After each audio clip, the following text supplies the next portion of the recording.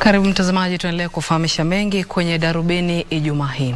Waislamu kote duniani wanajiandaa kukaribisha mwezi mtukufu wa Ramadhan mwishoni mwa juma hili. Mwanzo wa Ramadhani ambao ni mwezi wa tisa kwenye kalenda ya Waislamu huamuliwa na kuandamwa kwa mwezi. Mkurugenzi wa dawa katika msikiti wa jamii ya Mohamed Sheikh alitoa wito kwa Waislamu kuwa na uvumilivu na kujinyima wakati wa mwezi huu mtukufu na kuswali, huku akiwahimiza wawe wavumilivu wanaposubiri kuandamwa kwa mwezi.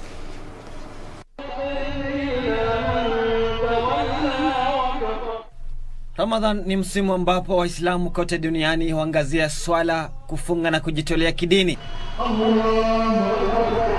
Ndio mwezi mtukufu zaidi katika kalenda ya Kiislamu. Mkurugenzi wa dawa katika msikiti wa Jamia Muhammad Sheikh amesema kuwa mwezi mtukufu wa Ramadhan huamuliwa na kuandamwa kwa mwezi. Ikiwa mwezi hautaandama eh, kesho itakuwa ni tunakamilisha 30 ya mwezi huu, kisha automatically siku inayofuatia siku ya Jumapili ndio itakuwa mwanzo wa mwezi mtukufu wa Ramadhani. Muhammad alitoa wito kwa Waislamu kuadhimisha mwezi huu kwa kuwasaidia watu maskini, hasa katika nyakati hizi ngumu za kiuchumi. Mwaka jana na juzi tulikuwa na challenge ya corona. Mwaka huu tunazungumzia changamoto, changamoto la mfumuko wa bei ya bidhaa, bei za bidhaa ya kuwa bei za bidhaa zimepanda mno. Kuna watu ambao bila shaka watashindwa kuweza kuafford iftari yao.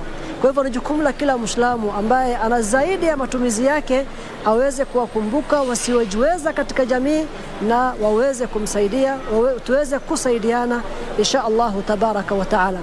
Waumini wote wa Kiislamu wataangazia macho yao angani Jumamosi na Jumapili, huku mwandamo wa mwezi wa Ramadhani ukitarajia kuonekana katika mojawapo wa siku hizi mbili.